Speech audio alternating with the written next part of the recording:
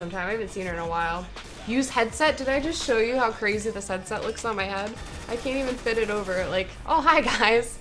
How's it going? Welcome to the stream. I don't even think I could hear anything through these buns if I had my Astros plugged in. Like, this looks ridiculous. So, no headset today, unfortunately. Fortunately. Did you see that one-handed kill? No big deal. World Star!